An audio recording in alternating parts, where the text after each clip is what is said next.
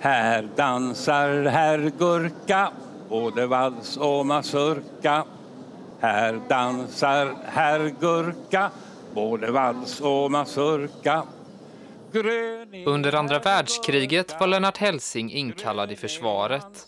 Han funderade mycket på vad man kunde göra för att undvika krig i framtiden. Han tänkte att man måste börja med barnen och han hade en stark tro på litteraturens förmåga att skapa glädje. Hans första barnbok Katten blåser i silverhorn kom ut 1945, samma år som kriget slutade. Han bröt mot dåtidens krav att barnböcker skulle vara uppfostrande.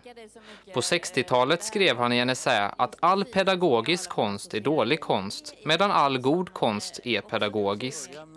Rim och ramsor blev Lennart Helsings signum. Förr lärde man alltså 30 psalmverser i skolan utan till. Ja. Och man förstod inte riktigt vad de handlade om förstås. Utan, men, men, men man lärde sig dem där. Det var inte så dumt som det låter. Mm. Dinkelidunkelidoja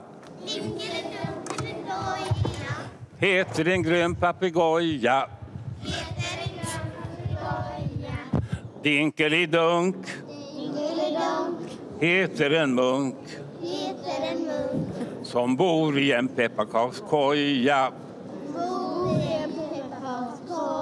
Ja, jaha, vad bra.